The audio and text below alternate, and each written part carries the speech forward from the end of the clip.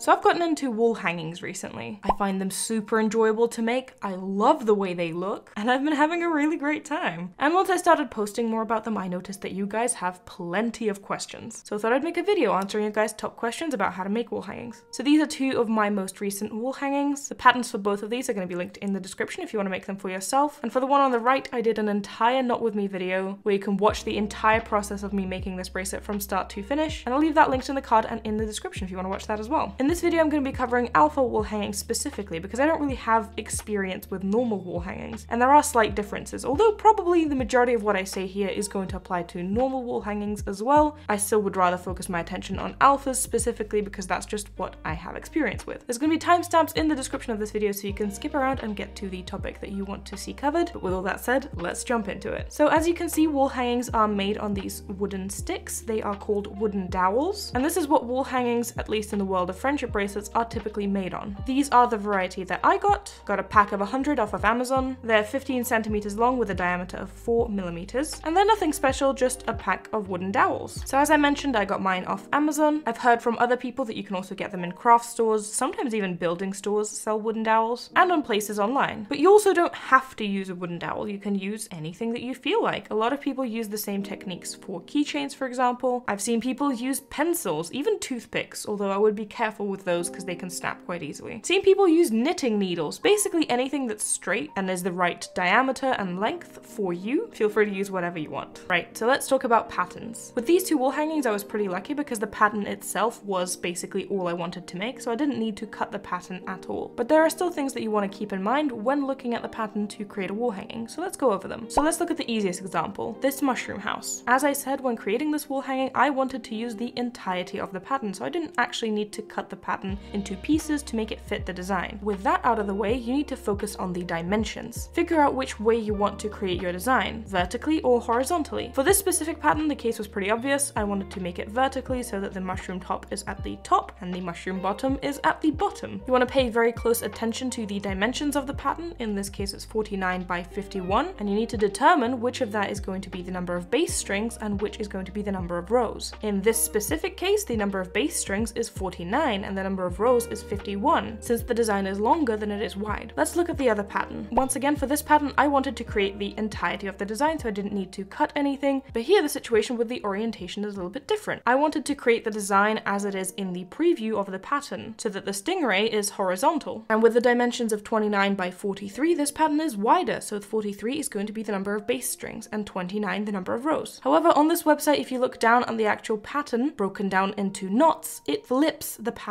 on its side, and that's not how I want to create the design for the wall hanging. So pay attention to the dimensions and make sure to figure out which of those you want to be the base strings and which you want to be the rows, because that is what determines the orientation of the pattern, whether it be horizontal or vertical. Personally, I prefer reading alpha patterns in the knot pattern version, but since the website defaults to making the shorter side the number of base strings, this doesn't fit me in this case because that flips the pattern on its side. And so for this pattern, I had to resort to following the grid pattern, which isn't a problem because you can still follow that pattern if you know how to make alpha patterns. And if you don't, you should watch my tutorial on that, which is separate and will be linked in the card and in the description. It's not a problem, it's just something that you need to keep in mind. But what if I do want to cut a pattern? Let's look at this one, for example. This pattern has a lot of background rows, too many for my liking. And because the pattern preview in the knotted format is also flipped on its side, and I want to make this horizontally rather than vertically, I need to read the grid pattern to create this design. What I would recommend doing in this situation is simply taking a screenshot. You could just remember how many knots you want to leave on either side, and in this case I would leave one or two rows either side, but if you rely solely on your memory, you run the risk of making a mistake. So I would recommend just taking a screenshot and physically just cutting out the number of rows that you need. Make sure to count several times how many base strings you're going to require, especially if you cut your pattern, because nothing is more annoying in making bracelets than when you start making something and realize that your number of base strings is incorrect. So make sure to check, count, and double check.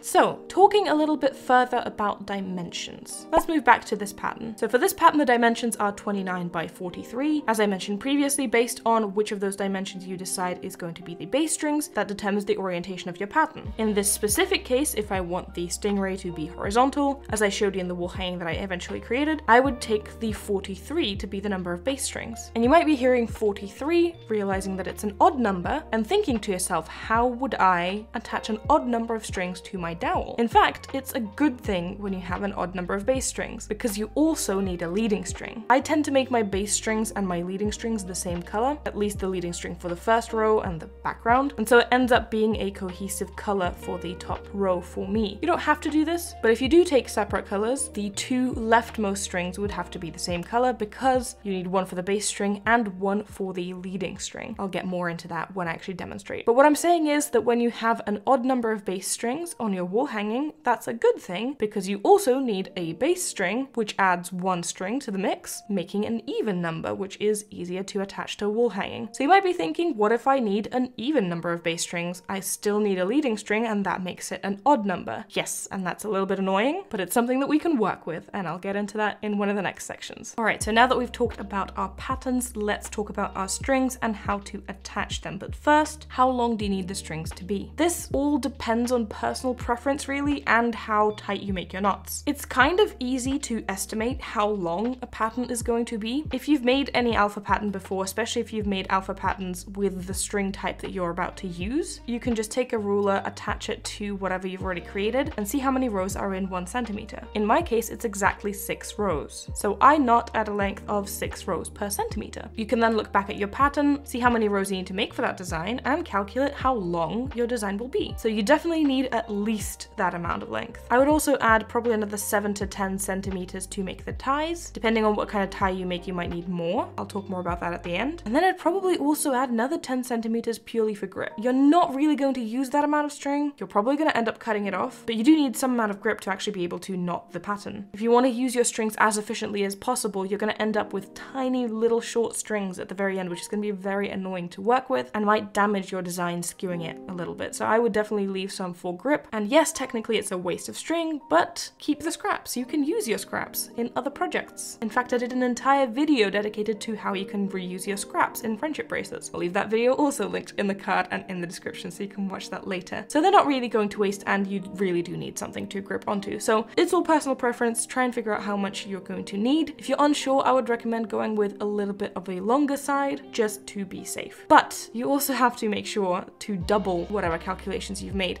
because you're going to fold your strings in half, essentially creating two. So if you've decided that you want, say, 30 centimeters, make that 60 because you're then going to fold it to create two strings of 30. And not only that, but make sure that one of your strings is extra long. So all of my strings meet at a point on this side, but on the other side, I've got one string that is extra, extra long, and that's the one that's going to be the leading string. And you want that one to be extra long since, you know, you're going to use it more and you're going to have to end up replacing it eventually anyway. So you just want to make it extra long to, to avoid replacing it earlier on. All right, so let's talk about how to attach these strings to the dowel. I mentioned this already before, but count your strings. Count the strings that you have, count the strings that you need in the pattern. Count them, count them again, and then count them again because it is so annoying when you're starting to make a design and you realize that you've miscalculated either on the pattern or when you were cutting your strings. It is the worst feeling in bracelet making. So definitely, definitely try to avoid that by counting on your pattern and then on your strings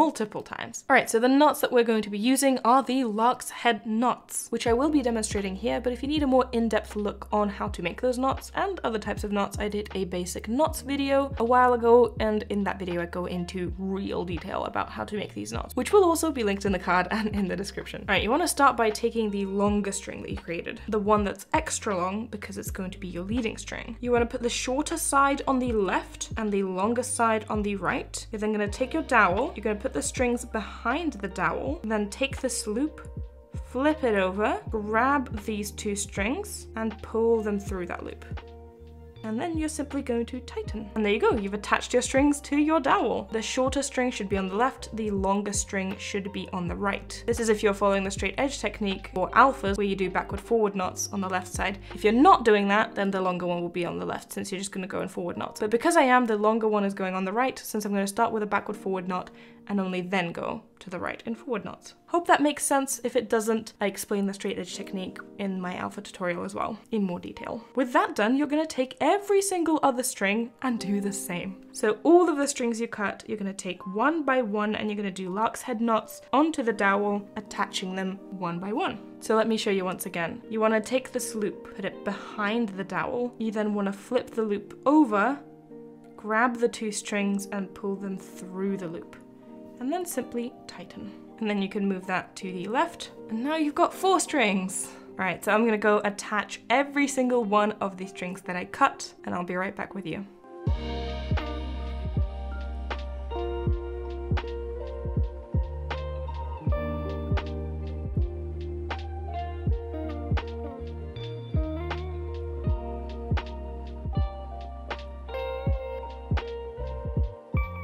So once you've attached all of your strings, you need to attach your dowel to your workspace. And this is how I do it. I make sure to attach any strings that I'm gonna need within the first few rows to the back of the surface behind the dowel. And then I simply just attach the dowel with two strips of tape. And that way I can pull on it, not too tightly, but I can, and I can start working on my design. As I mentioned, the leading string is going to be the second string if you're following the straight edge technique and you're gonna go in with a backward forward knot and then with forward knots following your pattern. At this point, I can't really help you, you just need to follow the design, and if you don't know how to make alpha patterns, and if you don't know how to follow them, as I mentioned previously, I have a separate tutorial on that, which is linked in the description. So I mentioned I would talk about this later on in the video, and now is the time. What do you do if you've got an extra base string? It's basically the same thing as with a new string, for example. If I'm going to be tying in a new string within the first couple of rows, I'm going to have this little tail sticking out the back. Same thing for when you have an extra string. If you've got an extra string that you don't need, simply pull it out and put it behind your wall hanging. Make the, make the knots excluding that string, and then it's going to be sticking out from the back, similarly to how a tail would if you would tie in a new string. Now once you've made a few rows after that and you're comfortable with your creation, you can go ahead and just snip those strings from the back, or if you're not comfortable with that, you can also just glue them to the back of your wall hanging. So if I had an extra string coming out from here somewhere, I could just push it down to the back of my wall hanging and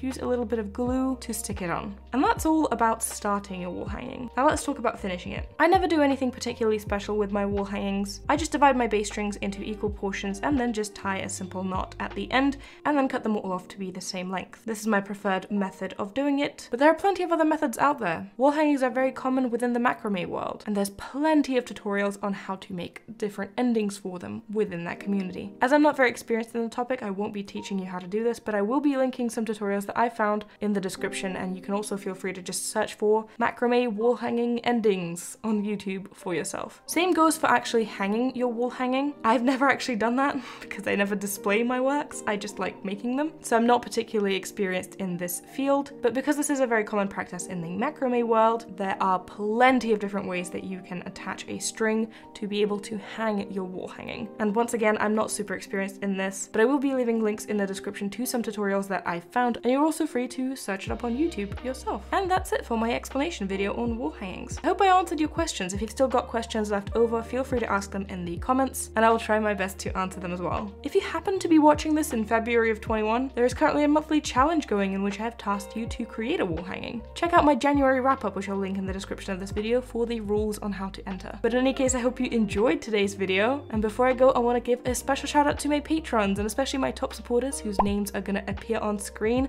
Thank you guys so much for your support. I truly, truly appreciate it. If you also want to become a patron, there is a link in the description where you can sign up and get exclusive perks for your donations. It is with my Patreon support that I'm able to create these videos, so I'm massively grateful for them. If you don't know, I also have a second channel, which is Masha Doesn't Knot, same as my personal Instagram handle, by the way, and that second channel is linked in the description. I recently posted a video answering questions about what it's like to be a YouTuber, I'll leave that video linked in the card and in the description as well for you to check out. I post non-bracelet related conversational type content over on that channel, and if that sounds like something you would enjoy, I'd love to see you there. But all that being said, I hope you enjoyed today's video, I hope you learned something new from it, and I will see you in my next video. Bye!